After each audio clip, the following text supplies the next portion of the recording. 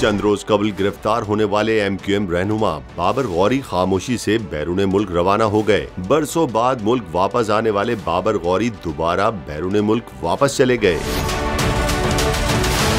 तफसीलात के मुताबिक चंद रोज कबल गिरफ़्तार होने वाले एम क्यू एम रहनुमा बाबर गौरी बुध की रात को खामोशी से बैरून मुल्क रवाना हो गए। सबक विफाकी वज़ीर को पाकिस्तान आमद पर कराची एयरपोर्ट से गिरफ़्तार किया गया था, जबकि मुतहदा के रहनुमा बुध की शब को रिहाई के बाद कराची से दुबई के लिए रवाना हो गए। सबक विफाकी वज़ीर निजी एयरलाइन की परवाज के ज़रिए दुबई रवाना हुए।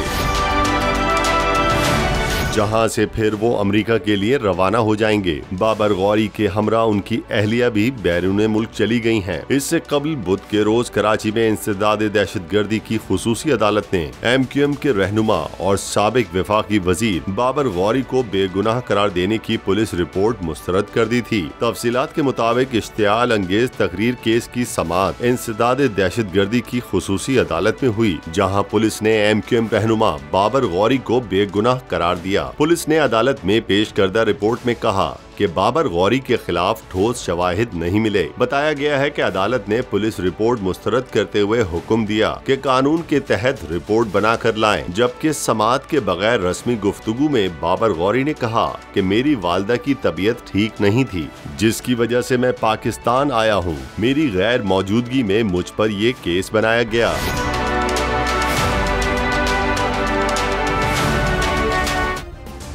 सब्सक्राइब करें और बेल दबाएँ ताकि कोई खबर रह न जाए।